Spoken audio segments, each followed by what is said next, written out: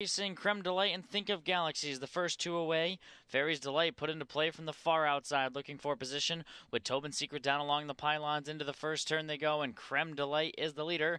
Think of Galaxies racing in second, will tuck in behind Creme Delight. Fairiesdelight gets a great position tonight from the high draw. She gets away in third in front of Tobin Secret, comes out racing in fourth. They're followed by Wait Forever, who's racing in fifth, and Racing Glory and Smooth as Tennessee Whiskey is the caboose that chases Creme Delight past the quarter in 27 and 2 fifths. Creme Delight on the engine. Think of Galaxy's pocket sits. Favorites 1 2. Fairiesdelight third, just three off the top.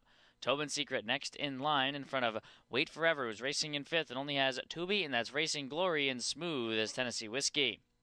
Still single file through 3 8, coming to the halfway point. Creme Delight on top. Think of Galaxies. Content to track from second.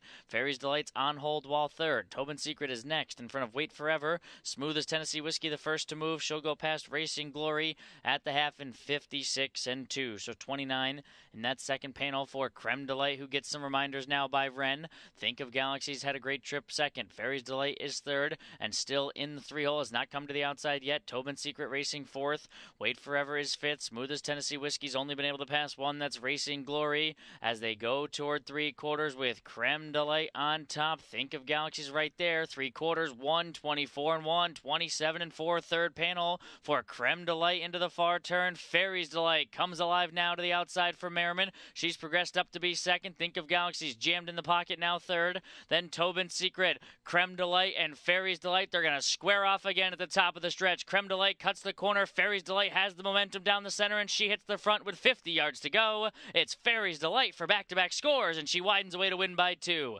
Creme Delight, then think of Galaxies, 152 and 4.